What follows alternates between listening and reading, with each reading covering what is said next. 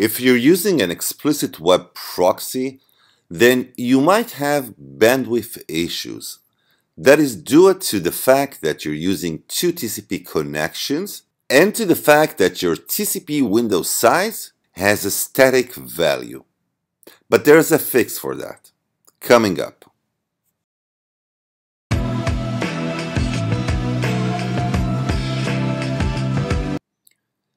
Whenever your FortiGate serves as a proxy, you will witness bandwidth issues.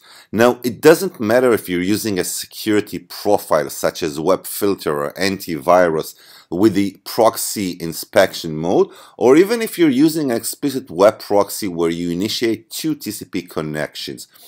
But there's something that you can do about it. You can change the TCP window size to be dynamic, not with a static value, that is changing based on your FortiGate memory. So let's do it.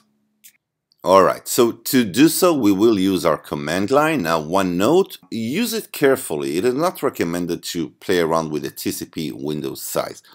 Alright, so we will use config firewall profile uh, protocol options and we will edit a new profile. Let's name it proxy. All right, now we will actually set up the different options for the HTTP protocol. And here you will set the TCP Windows type, and that is the trick. Now, there are three options. The first one is the system, that's the system default value for the TCP window size. The second one is static, that is the default value that is for that specific protocol.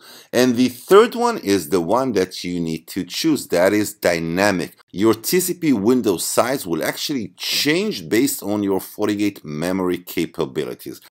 So there we have it, a little tweak on your TCP window size making it dynamic will probably change your bandwidth performance.